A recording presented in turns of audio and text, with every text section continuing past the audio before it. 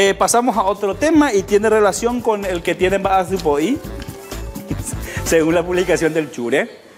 Me llamó la poderosamente la atención porque antes estaba re ñoño el tipo, pero ñoño y teco estaba, ¿verdad? Entonces me mostraron la foto y de repente se puso flaco. Miren ustedes, Mira flaquito está. Entonces yo puse, che, la agarró. esperanza. Tenemos esperanza. Le agarró por algún tipo de embarazo y al tipo puse y se enojó por eso. No porque él está a dieta, porque él bajó 60 kilos, 60. algo así. Él, ¿sabe que él perdió Puede ser 60 60, kilos?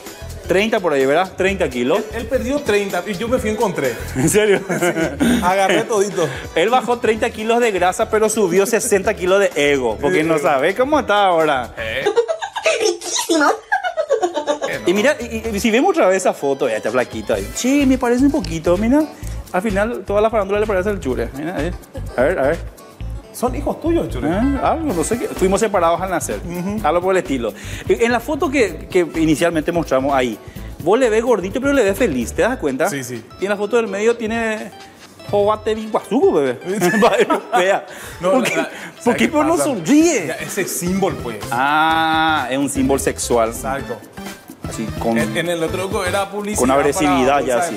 Soy muy macho. Le parezco a Chanclón Van Damme. Lo, lo único que lindo me voy a mostrar con la caripela también.